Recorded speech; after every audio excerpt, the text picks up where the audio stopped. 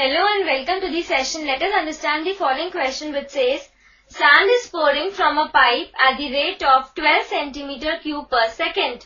The falling sand forms a cone on the ground in such a way that the height of the cone is always one-sixth of the radius of the base. How fast is the height of the sand cone increasing when the height is 4 centimeter? Now let us proceed on to the solution.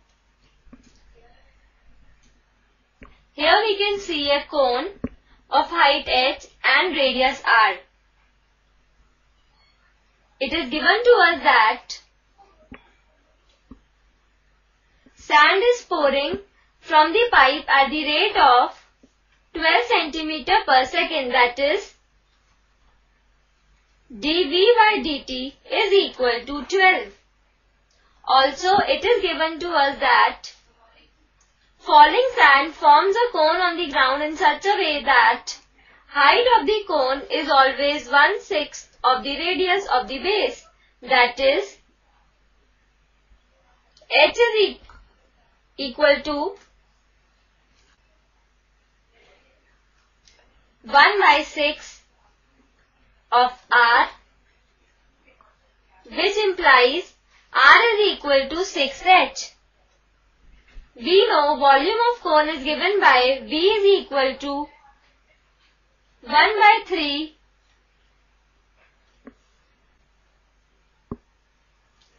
pi r square h. That is V is equal to, now substituting the value of R is equal to C, 6H, we get 1 by 3 pi 6h the whole square multiplied by h. It implies v is equal to 1 by 3 multiplied by pi multiplied by 6h multiplied by 6h multiplied by h. Here 3 gets cancelled with 6 and we get here 2. It implies v is equal to 2 multiplied by 6, 12 pi h cube.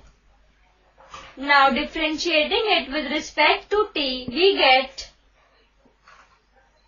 dV by dt is equal to 12 pi multiplied by 3h square dh by dt.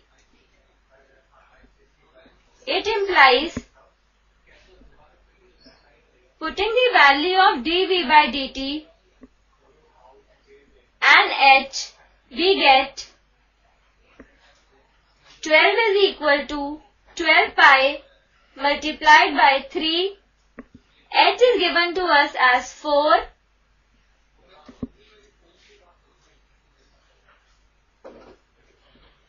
Height is 4 centimeter. So, 3 multiplied by 4 square multiplied by dh by dt.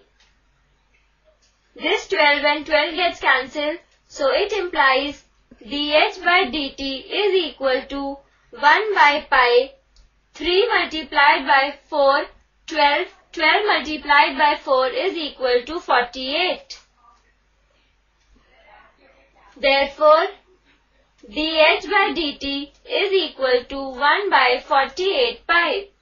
Hence, height is increasing at the rate of 1 by 48 pi centimeter per second which is the required answer. I hope you understood this question. Bye and have a nice day.